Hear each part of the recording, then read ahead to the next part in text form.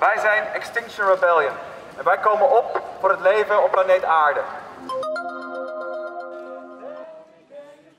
Precies op het moment van de maandelijkse sirenetest lieten leden van Extinction Rebellion zich maandag bij het Nijmeegse stadhuis op de grond vallen alsof ze stierven. De actiegroep greep het alarm met deze ludieke actie aan om aandacht te vragen voor de klimaatcrisis. Deze demonstratie eh, hebben we georganiseerd weer eh, in de aanloop naar de Tweede Kamerverkiezingen. Die komen natuurlijk op 17 maart weer. We willen eigenlijk de klimaatnoodtoestand weer op de politieke agenda zetten. Ja, we gebruiken de, het luchtalarm, dat, uh, dat natuurlijk elke eerste maandag van de maand afgaat, als symbolisch moment om, om de noodtoestand af te kondigen. Ja. En dit is natuurlijk een test, hè? een testsysteem.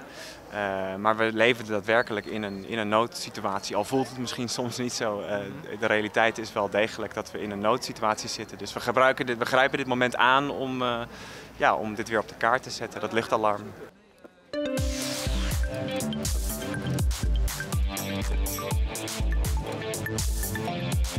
Thank